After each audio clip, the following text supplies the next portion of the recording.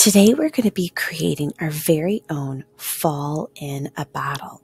So, I want you to think about if you could capture your favorite moments of fall and put it inside of a bottle, what would that memory or image look like to you? So, every person's going to have a different view of fall, and even your mood for the day can be captured. So let's take a look at a contemporary artist named Jen Aranyi and see how she uses the nature that's in her own backyard and how that incorporates and creates her art. She's very nature inspired, and I'm excited to show you what she captures inside her artwork and sometimes inside her own bottles. Today, we're going to be learning about an artist, a contemporary artist who is named Jen Aranyi. I know we've probably seen some of her work before, but she's a watercolor nature artist and she's also a graphic designer. So, when you take a look at her work, you'll notice that she's really influenced by the nature and the world that's all around her. She really likes to add in bright colors and she uses those colors in a big contrast by using the black and white of her line art. So when you look at her mountains or the landscape that she's creating, that's all in black and white using her pen.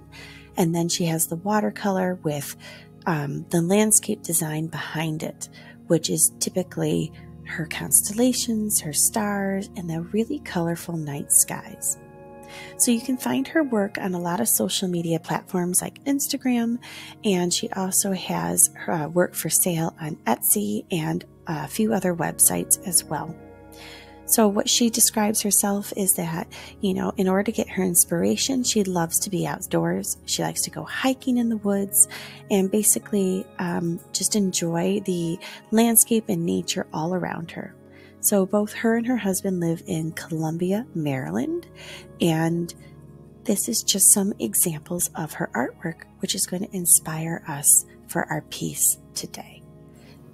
Now that we've learned a little bit more about Jen Aranyi, let's take a look at this example here. This is the inspiration today.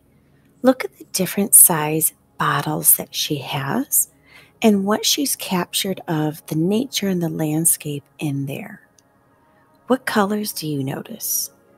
And what stands out? Which one draws your eye?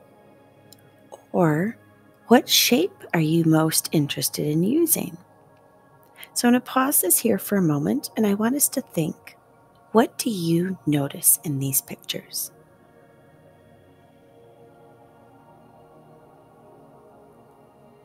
Now that we've taken a bit of time to talk about the things that we notice in these pictures, I wanted to show you another example. And this is something I had found online, and it inspired me to look a little bit more into the artist of Jen Aranyi. And I also really liked what these students created of capturing fall in their bottles as well. So I want you to think what would you put in yours? Would you have, you know, a favorite memory, such as playing catch or playing football, maybe playing hockey outside? I know those are all sports related. Is it a movie that you really enjoy? Is that something that you turn on every time it's fall? Do you have s'mores along a bonfire? Or do you go camping? Do you get to play outside and jump in the leaves or swing around outside on a giant tire swing on a tree? What are some of your most favorite memories? And if you could take that memory and put it inside a bottle so you could see it at any time, what would that look like? So, right now in our sketchbook, I want you to sketch a couple ideas don't even worry about drawing a bottle. Just kind of write words or draw quick little sketches of what memory stands out for you in fall. Is it picking, picking pumpkins, carving them, trick or treating, anything? Now that we've practiced a little bit in our sketchbooks, we're just warmed up by doing some quick ideas and jotting down our notes. What I want us to do on this white 9 by 12 piece of paper is let's start off by drawing our bottle. So I'm going to start up at the top and do a little line so I can kind of get an idea of where I want my bottle cap to be. And then I'm going to do these curves to create the lip of the bottle cap. And then angle them down a little bit like this. The next thing I'm going to do is make the neck of my bottle. So think about how long do you want it to be? Look at those examples I have in the top left corner of Aranyi's and see if any of those inspire you. The next thing I did is I put a line at the bottom to kind of give my idea or give myself some reference. How big do I want my bottle to be or how long? Do I want it to be a big curve or do I want to go straight out and down? So right now I'm just drawing it out a little bit and then stopping right before that line.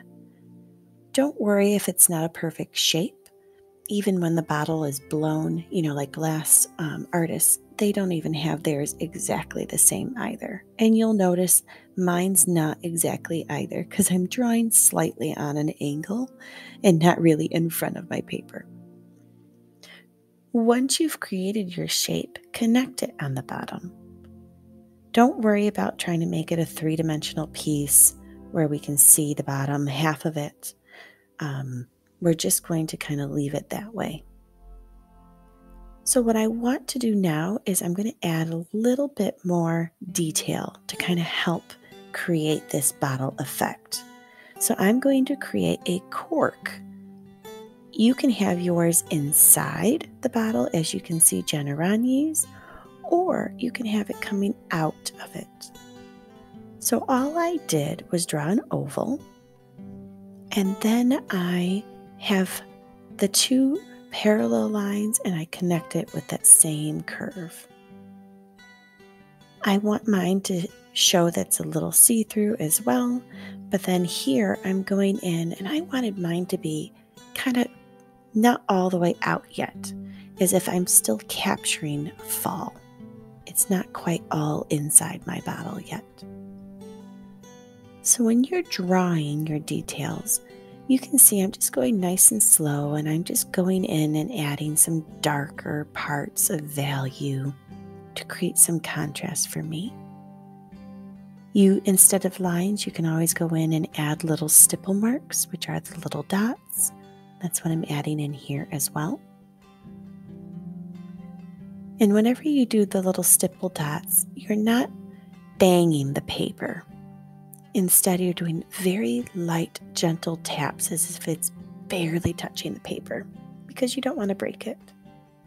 You can add those same little dots along the edges or different parts of your bottle if you would like as well. What I'm doing next is just creating a little line barrier so that way I have some reflection, but I also have some of that thickness and it's just going to make it kind of pop out a little bit more. I also like Jen Aranyi's idea of her stickers. So whenever you have a sticker, just look at the image and then there's this really thick white line that goes around it. And because we're working on white paper, what I'm going to do is use my black marker and I'm going to make a nice thick outline along the outside of my bottle. It's your choice if you want to do that or you can just leave it as is and just have a thinner line on the inside.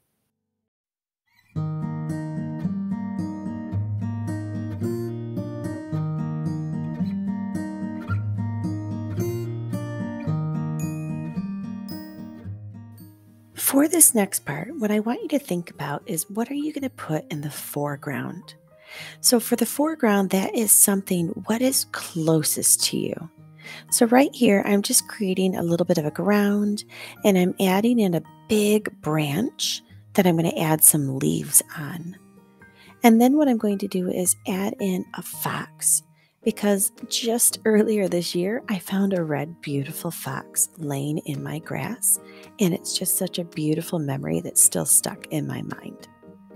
So I'm going to create that and then I'm going to do a line somewhere on my paper, and that's going to be my horizon line.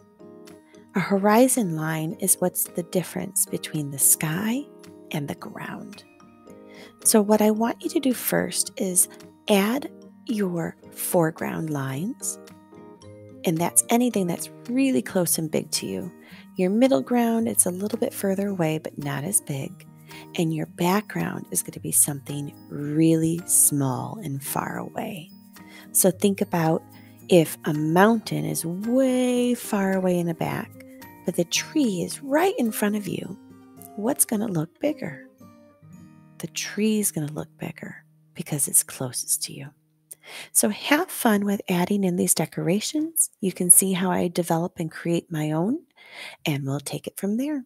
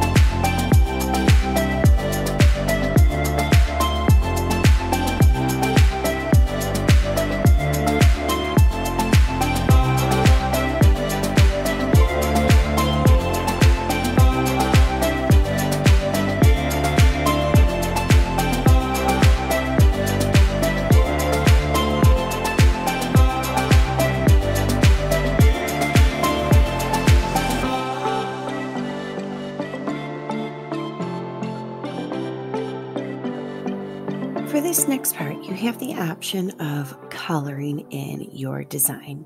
I'm going to be using crayons, but you can use colored pencils.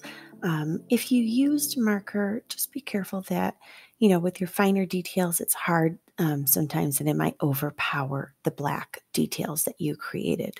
So try to not use the darkest of colors and leave certain areas black and white like Jen Aranyi does um, where I suggest just doing the background or a few components versus all of your black and white.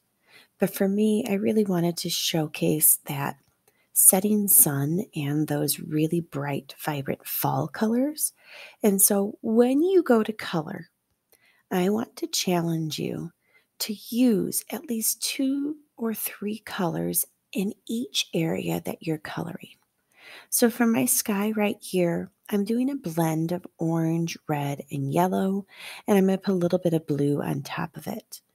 And when I do my grass later, you'll notice I'm going to use my green, but I'm going to add some yellow in there and maybe highlights or pops of red because there are the leaves that are going to be falling down. And I'm adding in some shadows and different things when I get close to a object that I've done in black. With the ink, I'm going to push a little bit harder with my crayon, and that's just going to give it a little bit more contrast to help it pop off the paper a little bit more.